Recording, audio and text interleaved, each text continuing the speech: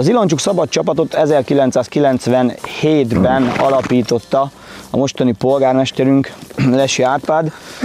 aki a csapatnak az atya volt, és először ő foglalkozott ugye hagyományőrzéssel nálunk szervezettebben, íjászattal kezdte annak idején a csapat, én gyermekként kerültem ebbe bele, és ugye mi vagyunk azok, akik Magyarországon jó ideje a kunokat jelenítjük meg, leginkább azért, mert a csapat jelentős része az kun származással rendelkezik, és ténylegesen kunok vagyunk, és nem csak valakinek fölvettük az identitását, hogy azt bemutassuk, hanem a saját őseinknek a ruházatát és viseletét próbáljuk rekonstruálni. Elsősorban a 13. századi, tehát a beköltözés korának a kunyait jelenítjük meg. Elkezdte kinőni magát ez az egész, és elkezdtünk kimondott a rekonstrukciós hagyományőrzéssel foglalkozni, és közelharccal. Majd ebből ugye tovább fejlődött az érdeklődés miatt az, hogy akkor üljünk lóra, dúsult a csapat több fiatallal, és már hál' Istennek egy 21-2 éves csapatról beszélhetünk, aminek 10 éve van egy állandó, stabil emberanyaga, megbízható válogatott fiatalokkal, újak is jelentkeznek, kevesen távoznak, sajnos néha van olyan, hogy mi kérjük meg a kollégát, hogy búcsúzzon, mert nem mindig viselkedik mindenki úgy, és azért meg szoktuk válogatni, hogy kit engedünk a sorainkba, mert hogyha harcolni kell, azért jó, hogyha az ember tudja, hogy kinek tartja a hátát. Remek és retteget lovas harcosok voltak az őseink, ugye nagy állattartó népség volt, és ehhez is próbálunk hülyek maradni, tehát a csapatunkból, hogy azért viszonylag hiteles legyen az emberanyag, ugye olyanokkal dolgozunk, akik szeretik a régi fajta életet, nem áll tőlük távol, és ugye jószágtartással is foglalkoznak többen,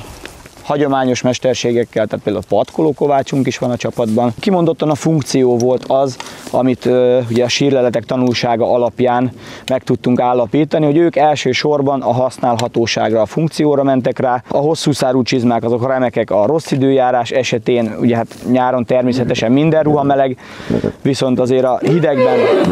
jó van. A hidegben ugye védi a lábszárat, védi a térdet, a kunokra jellemző, és ugye most én sisakban vagyok, ezért ez nem látszik, de a, a csúcsos süveg, ugye a visszahajtott peremű csúcsos süveg, amiket láthatunk a Szent László freskok ábrázolásain is, meg úgy klasszikusan a kunokat, ahogy ismerjük, sőt magát a negyedik László, Kun László királyt is ábrázolták ugye a krónikában csúcsos süvegben, tehát az az egyik teljesen jellemző eleme a kun viseleteknek tehát ha kell, természetesen tudunk íjjal is lőni lóról, tudunk láncsát is használni, tudunk kardot is használni, de az az igazi, amikor bele lehet lendülni egy jó kis köböre játékba. A nomádoknak ugye az egyik legfőbb játéka amikor békeidő van, ugye az az úgynevezett kökpár. A kun nyelven megmaradt egyébként Magyarországon ennek a szó, tehát ugye köbörének nevezik ugye kunul, vagy hát magyarul magát a játékot, ez az úgynevezett kecskehúzás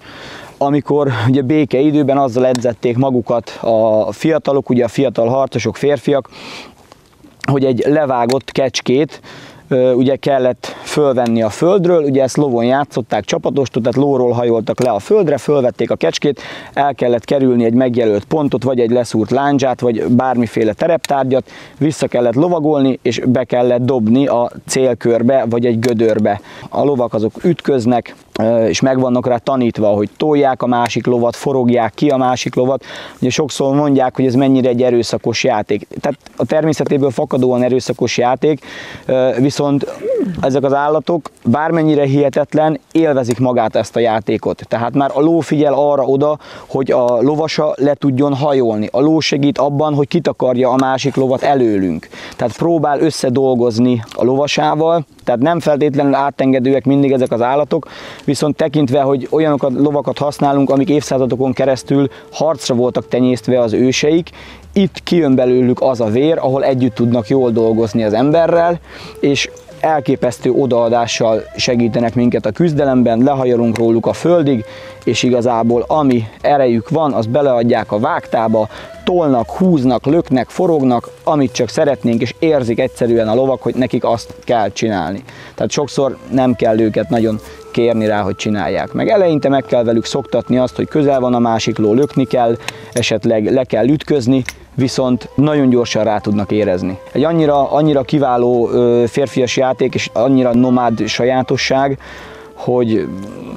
szerintem az az egyik eszenciája a mai magyar lovas hagyományőrzésnek, hogyha valaki ezt elkezdi komolyabban csinálni.